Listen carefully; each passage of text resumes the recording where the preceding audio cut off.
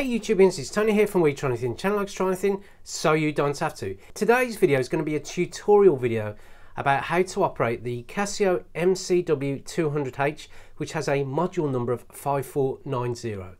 So in this video, what we're going to do is show you how to use the chronograph part of this watch. We're going to show you how to set the date as well as the time.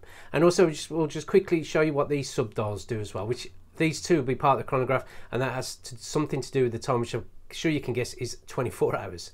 So first of all, just to mention the links below are for the instructions. If you they'll take you off to the Casio website. There's also an affiliate link for this watch so if you want to find out a bit more about it on Amazon you can easily do so. And also there is a link to the review of this watch which I have on the channel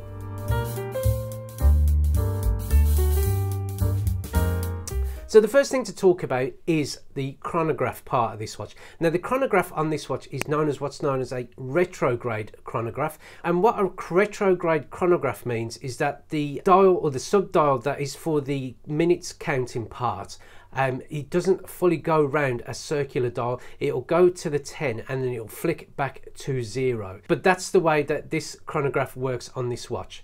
Now, talking about the chronograph part, the dials are, as I've mentioned, you've got the minutes here, and then you've got the seconds indicator here, which is just solely for the chronograph and no other part of this watch. So to use the chronograph, what I've done, I've I've counted five minutes elapsed because first of all what I want to show you how to operate is just so you can see how these dials work once I've done uh, what would be a reset on the chronograph. So the first thing I'm going to quickly show you how to do is to start the chronograph. Now if you imagine that's at zero and then I'll start the chronograph here and what you can see if I press the start button from the top pusher here and then press start and as you can see the seconds subdial is starting to work. So say for example you want to measure up to or something's occurring and it's got an elapsed time of 15 seconds. So 15 seconds have transpired. You press the start button again and that what that will do is stop the chronograph. What I want now want to do is I want to reset the chronograph. Now what, what, what you'll notice is that on the chronograph it will reset the minutes as well as the seconds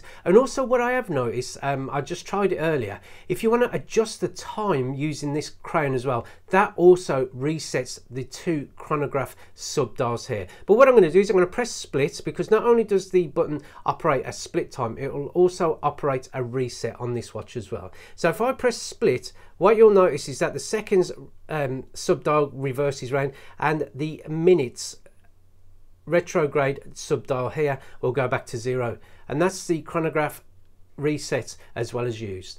Now the next part of the chronograph is what I want to show you how to do is a, measure a split time. So again let's measure up to say 15 seconds. So I'm going to press start again to start the chronograph or stopwatch or how it, whatever you want to call it. So let's get up to 15 seconds because obviously you've got five second interval markers just on the inside of the dial. So I'm going to press split. So I've just got it just I've just got it just under the 15 seconds. So if I now give it a couple of more seconds just so you can see the difference in the seconds uh, what, what's transpiring because the chronograph is still working. Now if I re release the split time as you can see, it's jumped up to 30 seconds. So that is how to do a split time on this watch. So if I want to, again, stop the chronograph and then reset it, it's as easily done as that. Now this watch will also allow you to record first and second finishes. So the first and second finishes, so for example, you want to measure two people running a race, first person does it, you want to measure that time, and then the second person runs through the finish line, you want to measure that time and also as well. So this watch will allow you to do that. So to do so, you press the start button. So say for example, the first runner runs the race in an unbelievable time of about 10 to 15 seconds. So if we just go up to 15 seconds here, and what you do, you press split to measure the first time. So the first time uh, the runner has gone through it the first time in about 15 seconds. And then the, second runner is coming up to this finish line. So again, you want what you want to do is get your finger on the stop or what would be the start button here. So say for example, they do it in a, a, just a, a great time as well. And they've just gone through the finish line. So you press stop. And then what you do to see the time that they've gone through is you press split again and that's the second finish time there. And then what I'm going to do is I'm going to reset the chronograph as you would do as normal. So that is how to measure a lapse time, a split time, and also first and second finish times.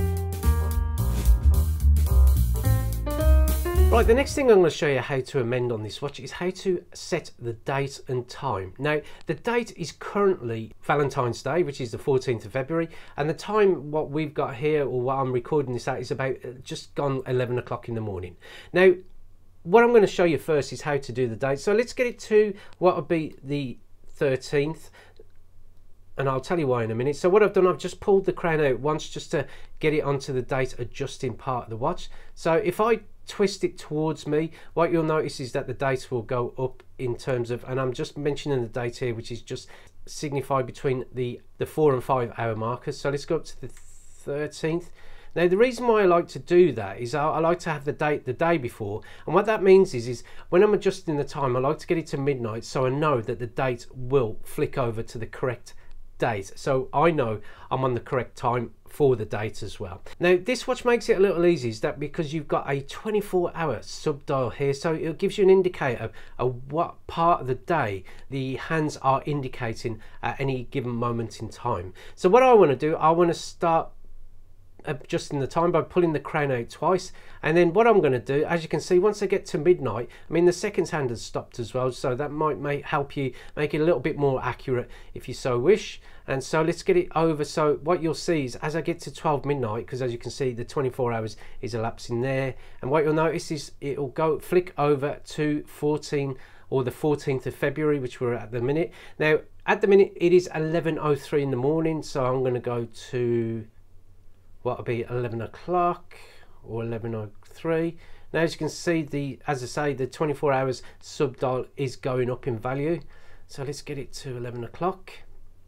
And here we are. That's 11 o'clock and I want to get it to 11.03 in the morning. So that's 11.01 2 3 and that's probably as close as I can get it because unfortunately you don't have four minute uh, four minute indicators there because let's get it to just before the four minutes. Um, because obviously you've got a, quite a, a thick uh, what would be indice or hour marker here. So that's it I've got it to approximately that time so what I'm going to do I'm going to just release or press the crown in and that releases the seconds as well and that's the date and time set on the Casio MCW 200H and that's it really on the Casio MCW200H. I hope the video is of some help. And if it is, then please give it a like. It always helps the channel. If you want to see any more videos from the We Try Anything channel, then click on the subscription button below. And thank you for watching this video. And we look forward to seeing you next time. Goodbye.